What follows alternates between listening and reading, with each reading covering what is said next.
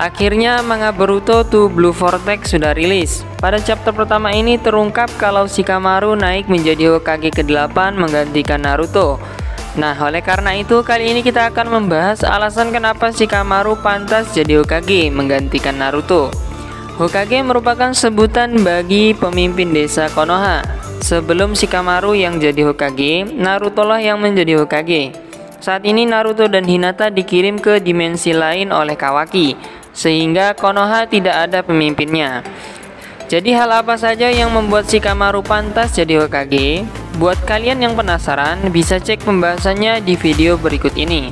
Sebelum lanjut ke videonya, dukung terus channel kami agar channel kami lebih banyak lagi dikenal orang dan dapat menghibur kalian semua dengan cara like, komen, dan subscribe dan aktifkan lonceng notifikasinya.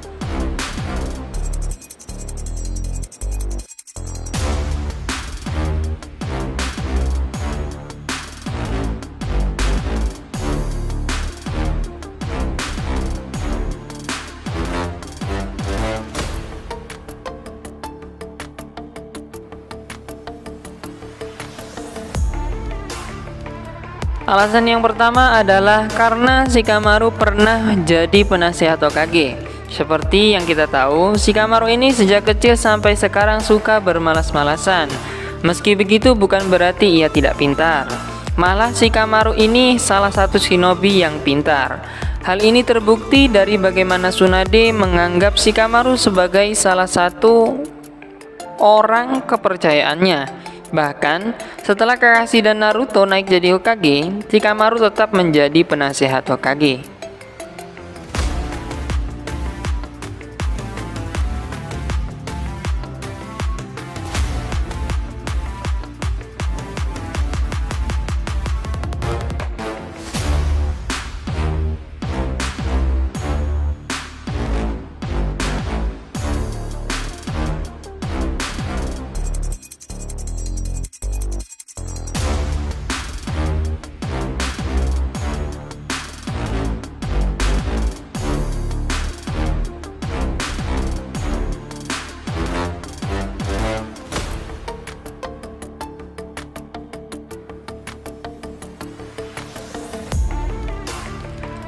Alasan selanjutnya adalah Shikamaru selalu berpikir jauh ke depan.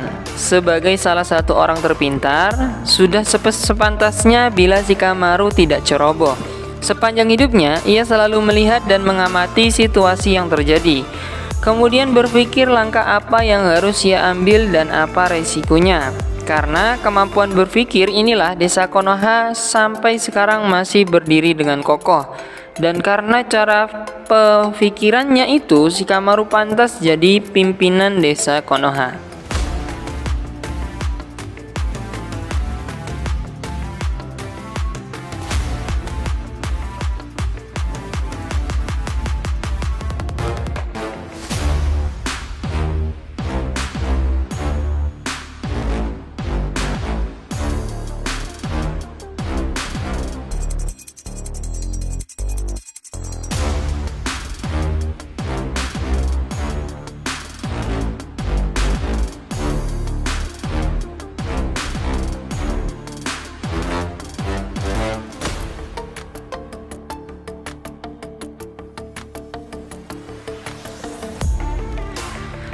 Alasan berikutnya karena Shikamaru memiliki jiwa kepemimpinan yang tinggi. Jadi dari era tim 10, Shikamaru merupakan sosok yang selalu memberikan saran terbaik kepada teman-temannya.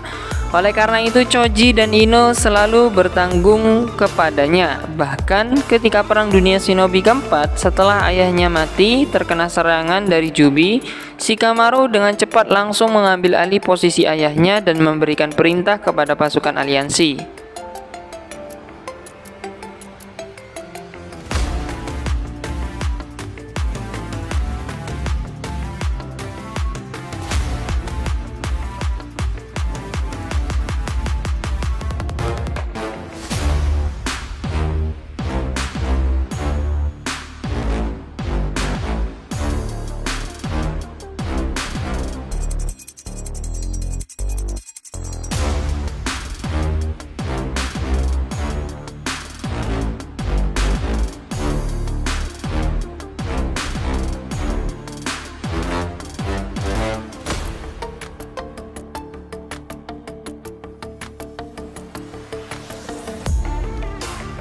Kemudian ahli dalam menyusun strategi. Memang dunia Naruto dan Boruto merupakan dunia ninja yang di mana kekuatan dan kunci adalah kunci utamanya. Namun perlu kalian tahu, kepintaran merupakan salah satu kunci untuk bisa memenangkan pertarungan. Shikamaru memang tidak memiliki kekuatan sebesar Naruto, tapi dengan kepintaran yang ia miliki, Shikamaru bisa menyusun strategi yang tepat untuk bisa memenangkan pertempuran dan menghindari banyaknya korban berjatuhan.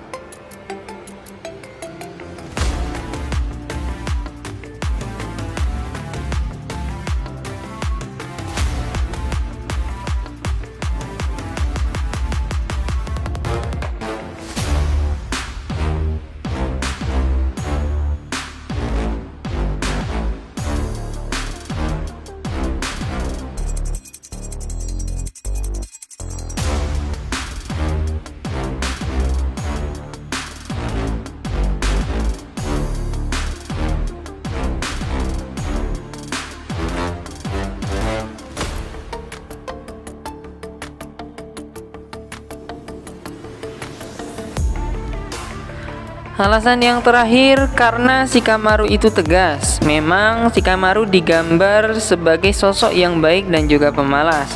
Tapi di balik sifatnya itu tersimpan sosok Shikamaru yang berani, tegas dalam mengambil keputusan.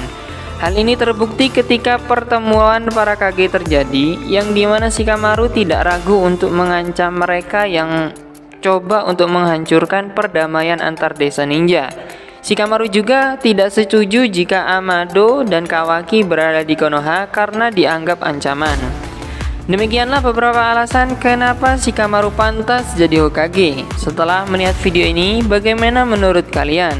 Itulah beberapa ulasan yang bisa menjadi list tontonan kalian di kala senggang. Dan mungkin Cukup vid sekian video dari kami dan jangan lupa dukung terus channel kami agar channel kami lebih banyak lagi dikenal orang dan jangan sampai ketinggalan dengan video-video terbaru kami selanjutnya. See you.